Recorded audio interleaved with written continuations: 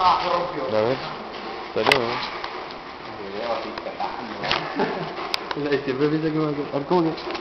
Ah, espera, déjame tomarle una Ahora foto. está en modo grabación. Oye, Lucho, sácate una,